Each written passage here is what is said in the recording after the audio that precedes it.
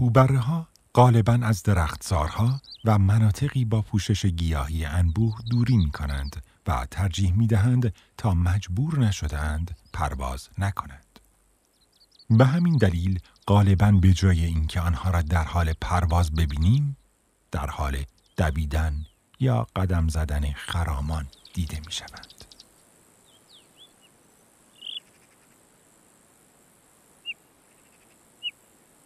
آنها یکی از ساکنین غاره های آسیا و آفریقا هستند و زمانی تصور می شد که این پرندگان در هر دو قاره از یک گونه هستند. اما مطالعات نشان دادند که آنها در واقع دو گونه متفاوتند. این پرندگان از میشمرغ کوچکتر و از زنگول بال بزرگترند. گردن، پا و بالی کشیده و بلند دارند. رنگ عمومی بدنشان قهوه‌ای رنگ است که هرچه به سمت زیرین بدن می رود کرم رنگ می شود. چشمانی درشت دارند و بر روی سرشان کاکلی سیاه و سفید به چشم می خورد.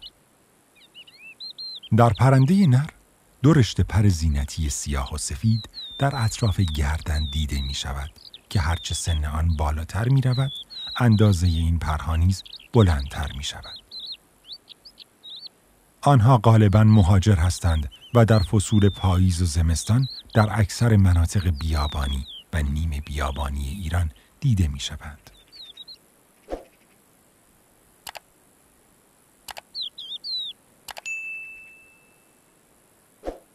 هوبرها غالبا روزگرد هستند و ترجیح می دهند برای تغذیه و گشت و گذار به هنگام طلوع و یا غروب خورشید از مخفیگاه خود بیرون بیایند. این در حالی است که آنها عواست روز را در لابلای بوته ها و درخچه های کوتاه به استراحت می پردازند. اگرچه رفتار تغذیه‌ای در هوبره ها ممکن است ساده به نظر برسد، اما عوامل متعددی در شکلگیری این رفتار موثرند.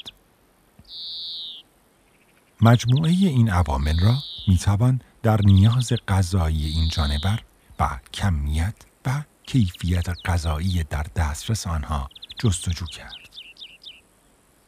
در واقع نیاز غذایی هوبرها به تناسب چرخه زندگی آنها و کمیت و کیفیت زیستگاه به طور فصلی و حتی از سالی به سال دیگر در تغییر است.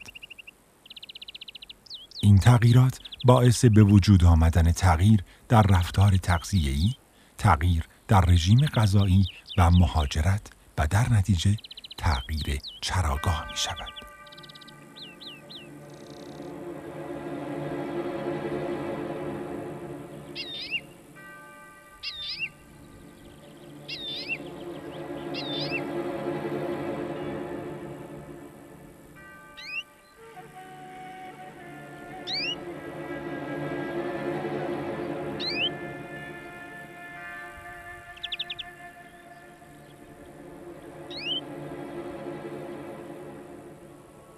هوبرها در حین چرا به صورت دست جمعی دیده می شوند و به هنگام تغذیه اطراف خود را نیز تحت نظر قرار می دهند. آنها مراقب رفت و آمدها هستند تا در صورت بروز خطر بتوانند واکنش مناسبی نشان دهند. در واقع چیزی در حدود یک سوم از زمان چرای خود را به نگهبانی و پایش محیط اطراف میگذرانند.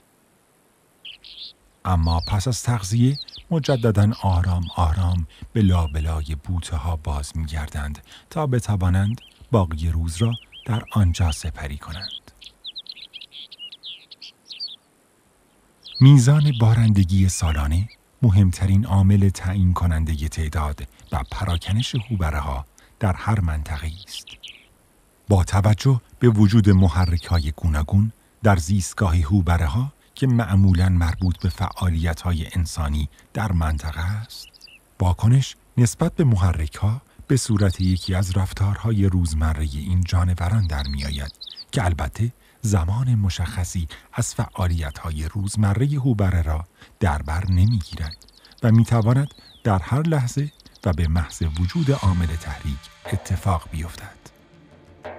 در این شرایط آنها ترجیح می دهند تا قبل از نزدیک شدن خطر سر خود را بدزدند تا شاید خطر برطرف شود.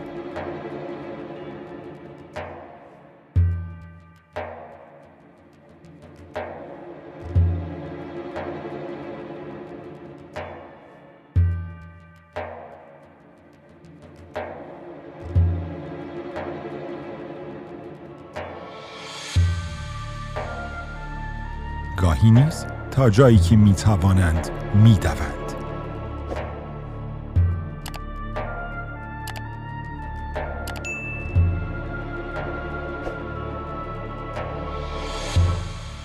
و گاهی در صورت نیاز پرواز را به دویدن ترجیح می دهند تا بتوانند زودتر از معرکه بگریزند تا زمانی دیگر بازگردند و به ادامه چرا بپردازند